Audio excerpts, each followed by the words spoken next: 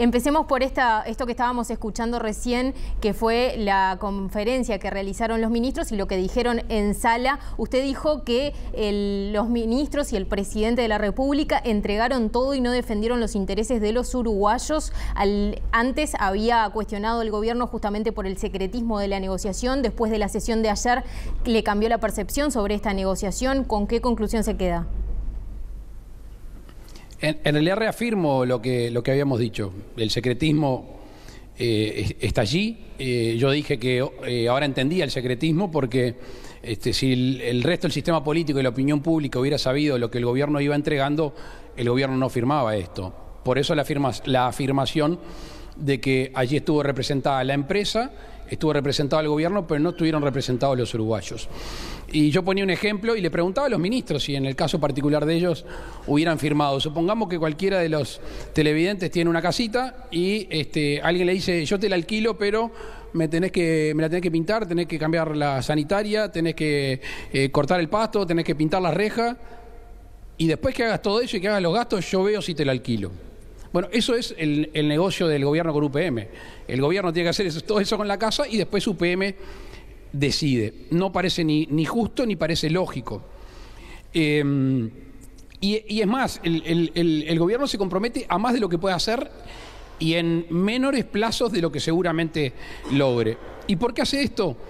Entre otras cosas, porque todo lo que comprometió el, el doctor Vázquez, todo lo que comprometió el gobierno del Frente Amplio, lo va a tener que cumplir el gobierno que viene es después o durante la transición o después del 1 de marzo del 2020 cosa que no parece ni, ni lógico ni, ni, parece justo. Ahora, senador, también uno del otro lado, y, y un poco es lo que reafirman los ministros, podría decir que justamente el gobierno que viene o la transición también podría recibir los frutos de una inversión tan grande, que dicen es la inversión más grande en la historia del país, teniendo en cuenta Uruguay, un país chico frente a una multinacional tan este, grande como UPM, ¿no cree que ahí también, bueno, son deberes que podrían pensarse hay que hacer para conseguir el objetivo final? Primero, lo de país chico no corre por mi cuenta. Yo no creo que el Uruguay sea un país, un país chico. Este, en el concierto mundial no es un país chico.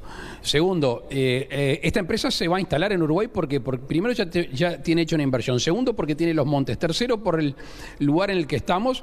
Y cuarto, porque es un país que ofrece determinada institucionalidad eh, que es muy importante, que se lo debemos a todo el sistema político. Pero esta negociación obviamente sobre, sobre, abundante, no me cabe la menor duda que el Uruguay comprometió más de lo que debería. Sobre el, planteo en sí, yo entiendo que el gobierno del Frente Amplio no esté acostumbrado de que nosotros estamos a favor de la inversión. Pero no solo estamos ahora a favor de la inversión, hace veinte y pico de años que estamos del otro lado del mostrador. Los que tuvieron que pegar el salto fueron los gobiernos del Frente, Frente Amplio. Por eso, dijimos que quizá no se entendía que nosotros queríamos ayudar y por eso queríamos participar en la, en la, en la negociación, para ayudar. ¿Ayudar a quién? Ayudar al país para que se instale la empresa, no ayudar a la empresa y que el país se entregue todo, porque no solo el país tiene que hacer todo y la empresa nada hasta la decisión, sino cuando uno empieza a sumar cuánto pone cada uno, ni el ministro de Economía terminaba de saber cuánto pone Uruguay, de memoria. 700 millones de dólares o mil millones de dólares del tema de la vía férrea.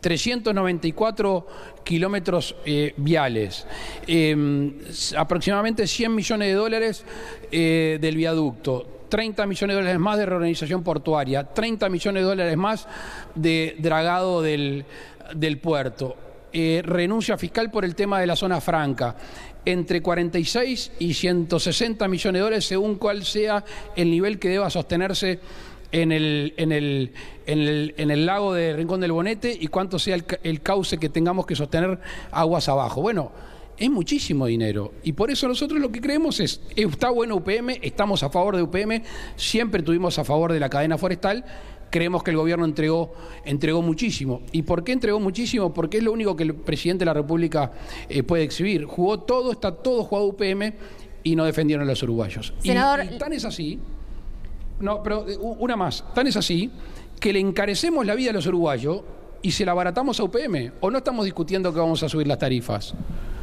Por un lado subimos las tarifas a los uruguayos y por otro lado le hacemos precios especiales, tarifas especiales a esta empresa que, insisto, insisto, nosotros estamos al lado del mostrador que queremos que se instale, simplemente que negociamos mal.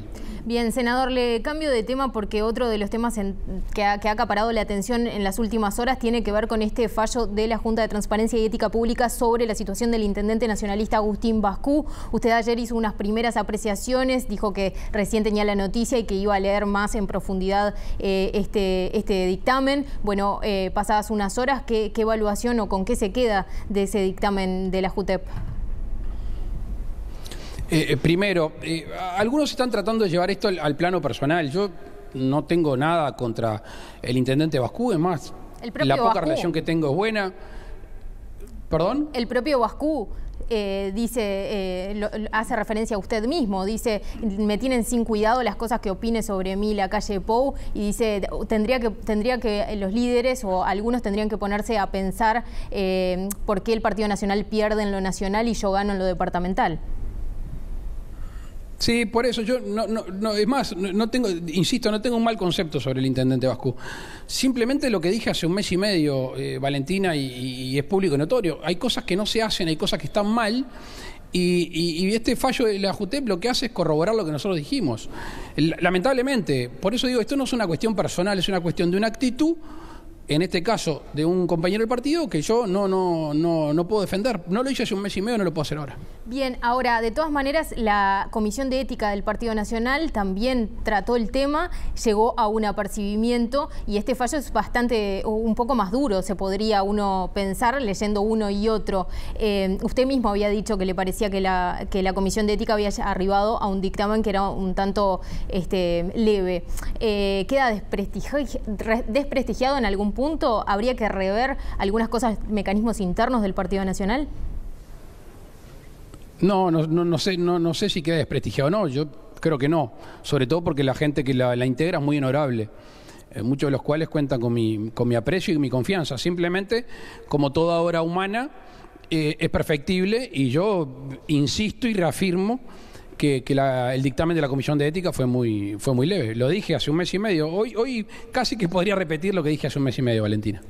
¿Qué consecuencias puede tener esto y finalizando ya con el tema, o cree que puede tener consecuencias para el Partido Nacional este tema que pone eh, el tema de la ética justamente y lo centra en el Partido Nacional después de que se viene de la situación de Sendic, pero también cuando empiezan a haber eh, encuestas, por ejemplo, Latinobarómetro, que muestran que los uruguayos están eh, puntuando bastante mal o en peor, peor que otras instituciones a los políticos?